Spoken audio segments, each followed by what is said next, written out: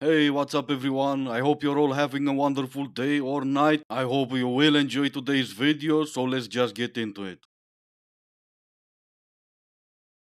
So I made a video saying that women are actually not crazy. They're actually just being triggered. And, you know, a lot of men don't understand that. So this video is for you men. So I'm going to tell you right now, when you betray your woman, she's going to have some triggers attached to that betrayal, right?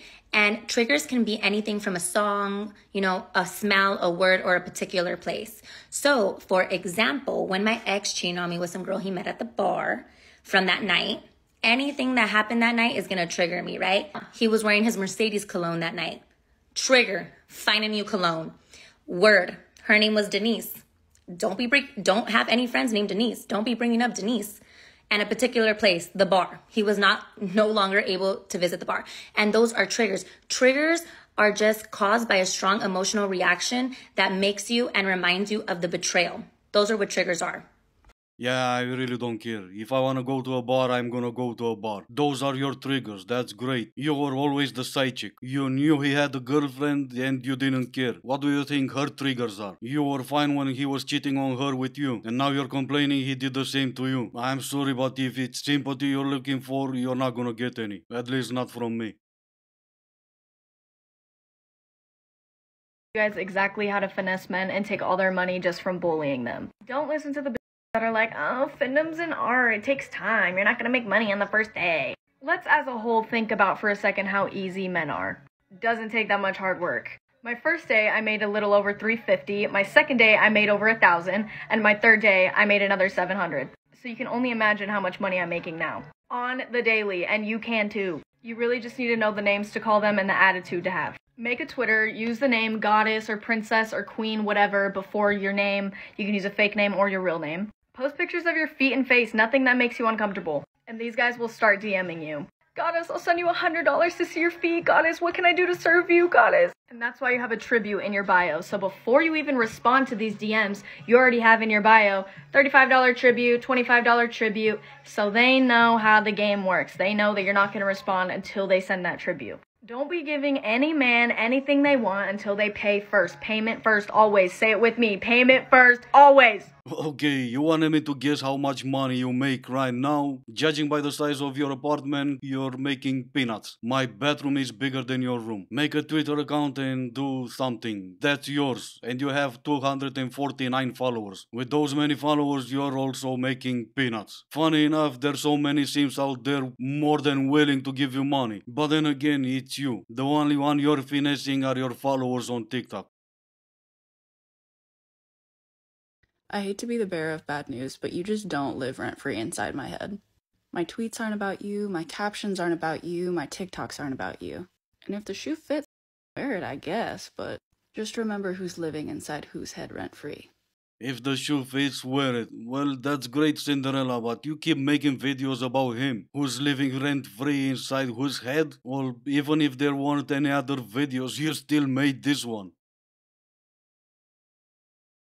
Okay, I'm gonna have to read this one. The peace that you feel from learning a dating strategy that works for you and makes you realize how much fun dating brings to your life. Seriously? Let me guess, you're a dating coach. Uh, what do you know? I was right. But no, I see what you're doing. You're going for curiosity. And that would have worked fine when I was six, asking all those stupid questions. Hey, what's that? Well, that is the moon. Hey, what is a moon? Hey, shut up. And then I had to go on TikTok and find out what is a moon. And lo and behold, it's something that it's right rising in April because it's Aries season or something. And suddenly everything made sense. I'm just kidding. We were lucky back then we didn't have TikTok and things actually made sense. My point is she's actually going for curiosity, hoping men will be, hey, I wonder what makes dating so fun in her life. Let's ask her. She's obviously a dating coach. Lucky for me, I'm not six and I'm not that curious anymore.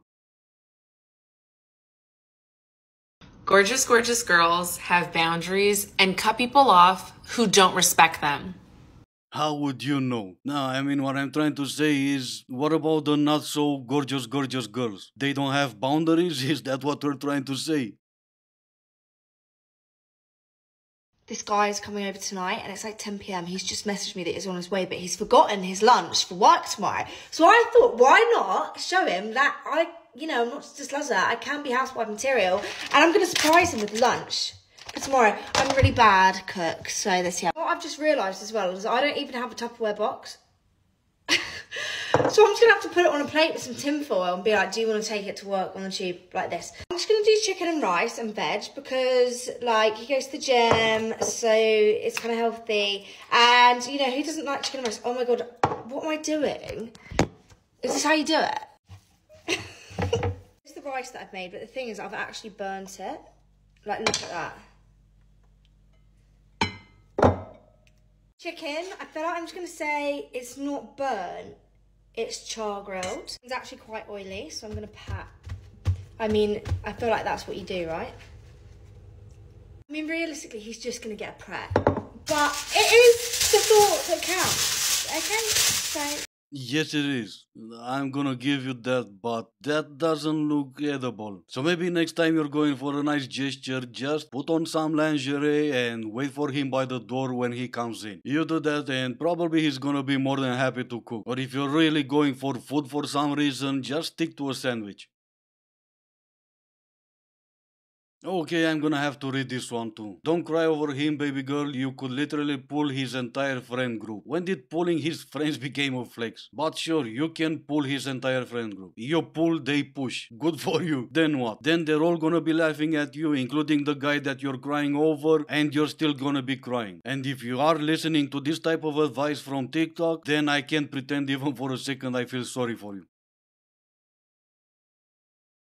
Everything, and I mean everything that you need to know about the guy that you've just started dating is by asking him what is your favorite movie. You will glean everything you need to know about him by asking what is your favorite movie. First of all, they're the Wolf of Wall Street guys. We all know those guys. You know everything you need to know. Then there's the Marvel, Transformers, Star Wars, Spider Man guys. We all know everything we need to know already about them.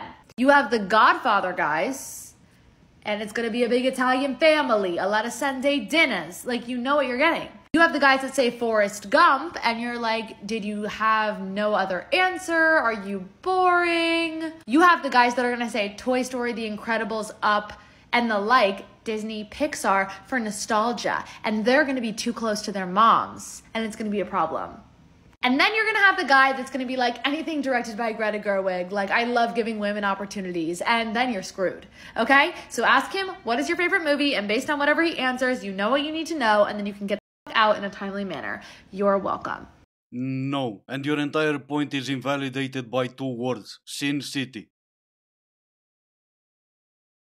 Hey, boys, if you can't afford to date, then um, just don't date. I see the craziest videos on TikTok sometimes of girls talking about how they get a Venmo request after a date, or they go on a date and they split the bill, which I already think is a mistake. And then the man messages them afterwards to say, like, oh, you know, you added avocado or you had a cocktail and it was more than my beer, like something like that, and like asking for money. And the most hysterical part about this is that I know these are the same men that are probably like starting podcasts or making stupid videos about how they wish that they had like a traditional submissive uh, woman.